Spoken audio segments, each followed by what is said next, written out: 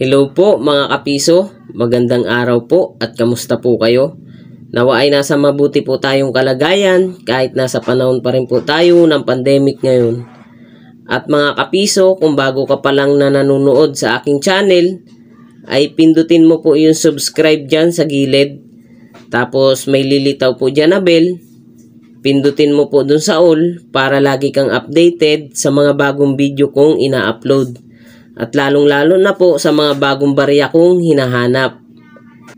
At ngayon po mga kapiso, ang hawak po natin ay isang 1 peso year 1999. At ito po ay isang non-magnetic.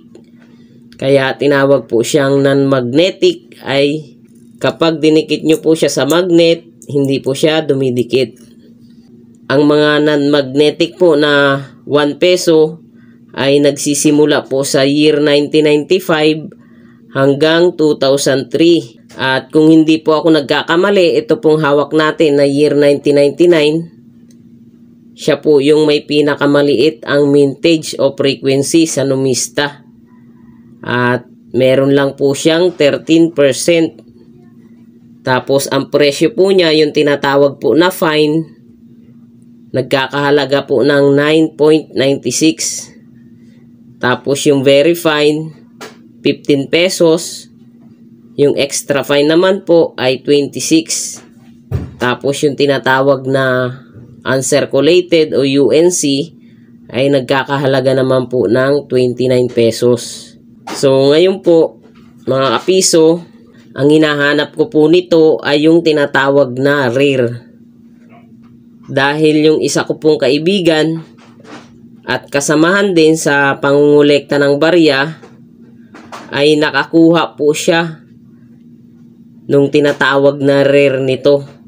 Ang gagawin nyo lang po mga kapiso, kukuha po kayo ng magnet katulad nitong hawak ko. Ayan. At ididikit nyo lang. Ngayon po, pag hindi po siya dumikit katulad nitong hawak ko na 1999, ibig sabihin po common po siya.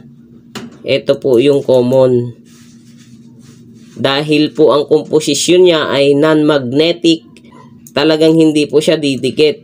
Pero ang hinahanap po natin mga kapiso ay yung dumidikit sa magnet. Kaya marahil kayo ay magtataka non-magnetic pero bakit dumidikit sa magnet? Kaya nga po siya tinawag kong rare. Dahil kakaiba po siya mga kapiso. Pwede pong ang nagamit sa kanyang materyales ay magnetic. Kaya dumidikit po siya. At nililinaw ko po mga kapiso, baka po kayo magkamali. Ang hinahanap po natin ay yung dumidikit sa magnet. Sabihin po nating magnetic na year 1999. Bukan nyo po mga kapiso na idikit sa magnet.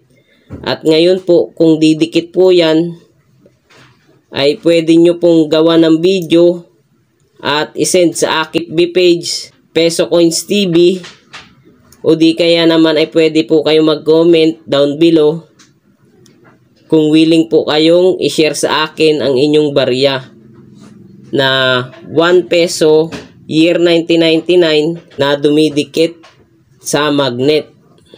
At yung po mga kapiso, nililinaw ko po maigi. Baka po kayo magkamali. Ang hinahanap ko po ay yung dumidikit sa magnet na 1 peso year 1999. Yun po yung tinatawag kong rare coin o error coin. Sana'y nakapagbigay din po ako sa inyo ng kaunting kaalaman tungkol po dito sa 1 peso year 1999 na non-magnetic. Maraming maraming salamat po ulit sa lahat po ng ating mga subscriber, sa lahat po ng ating mga viewers, sa lahat po ng sumusubaybay at sumusuporta sa ating YouTube channel. Maraming maraming salamat po sa inyong lahat. Hanggang dito na lang po muna ulit mga kapiso. At God to be the glory po sa ating lahat.